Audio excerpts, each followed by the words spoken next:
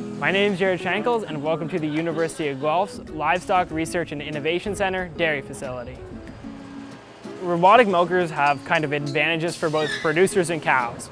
For producers, it allows a greater lifestyle improvement by kind of alleviating the, the early morning milking times and kind of the chronic labor shortages that are in the dairy industry.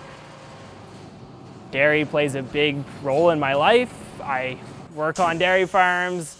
I kind of live, live, breathe, and sweat cows. When a cow feels the urge to milk, she stands up and walks over to the robot. Now, once the cow enters the robot, there's a little RFID chip in her ear. Now that RFID chip allows us to detect whether the cow needs to be milked or not need to be milked. Now, if the robot decides that the cow needs to be milked, essentially what happens is a robotic arm comes underneath of the cow and cleans her, cleans her udders and her teats. And then after that, the milker is attached and for about six minutes, the cow is then milked out. During this time, the cow is given supplementary feed and she's kind of content for the six minutes that she's being milked. When the cow is being milked, the, the technology is passively picking up a whole bunch of parameters.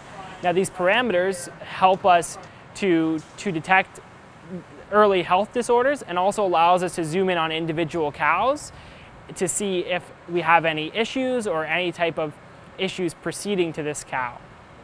So cows can reasonably go and milk themselves kind of when they want. They can kind of lead a more natural life. They can go and get milk, they can go and feed when they want, they can lie down when they want. And the robotic milker also provides more consistency for the cow. So the cow will always be milked the same way by the robot. And as a result, usually they, they turn out to have kind of better production and better welfare. Really what we see is kind of happier and healthier cows, right?